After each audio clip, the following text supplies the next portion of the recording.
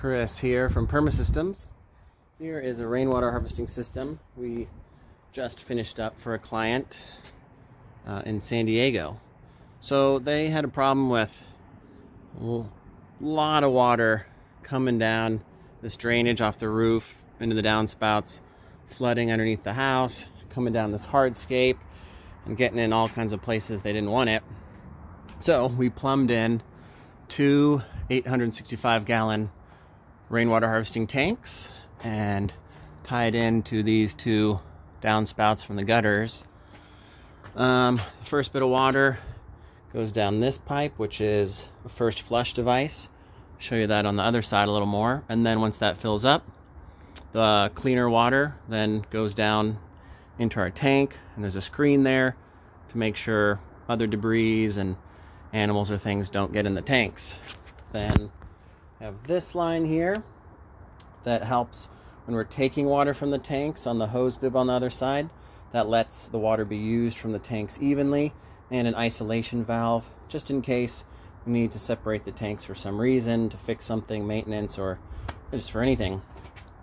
But when this tank fills up, although there is some water going here, we want to make sure we maintain the same size connection throughout the whole system so this tank will overflow to this tank. And if this tank, both of them, actually fill up, then it overflows here. Now, we can see down here, this is the first flush device pipe, and we tied it in to the overflow um, of the tank. So it just makes it really easy for the client. When that first flush is full, they can just turn this handle and that extra dirty water goes down this drainage and down the hill since wasn't really a good place to dump some of the dirtier water here.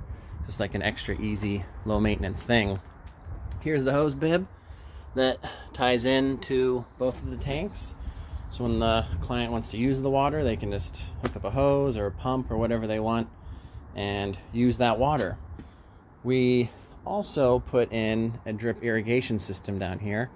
And I'll show you that and also kind of show you where this overflow goes because we kind of had to be creative. We didn't want to block uh, access and had a lot of hardscape, so there's no digging.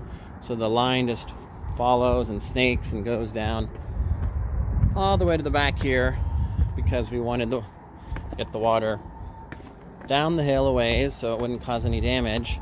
So the pipe goes and goes and goes here, there, there, there, and then right in here, we put a perforated pipe, pipe with tons of little holes in it. So this overflow, when it fills up and water starts coming out, it'll go down this pipe and it'll come out all these little holes. And what's nice about it is it really spreads out the water over this whole area and then lets it sink down even slower because it's spread out over a big area and then helps it sink in even more. So all these plants in the canyon will get more water, especially up the hill, because it's not just running down where it used to, this hardscape like a little river, hitting all these areas and causing a lot of erosion. So it's a really nice system now that um, turns a problem into a resource. And then the other thing we did is hooked in a gravity drip irrigation system. So the client can plug in a hose up at the tank and then tie in to this inlet with a little filter. And this tubing goes all the way, zigzags and snakes around the hills here. Gets all these succulents and other plants on all sides. And it's just gravity drip.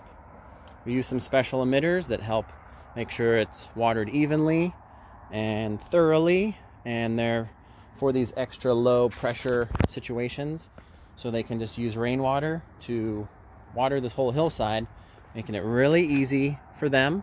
And um, they get to use rainwater, which plants really love. So thanks for checking in and uh, have a good one.